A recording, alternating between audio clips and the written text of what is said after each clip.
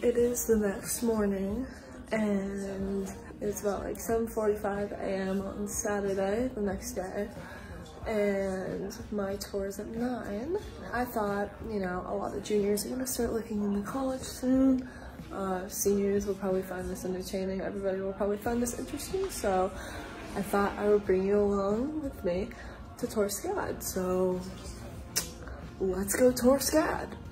So they put everyone on different buses based on their major. I chose film and television, so they took us to their recording studios, and this is the beautiful lobby.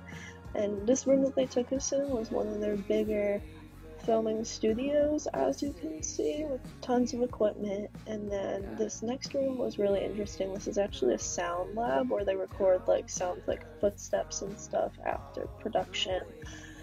And then this is one of the smaller dorms, one of the hotel style dorms in one of their smaller dorm buildings. And then in their bigger dorm buildings, they have these.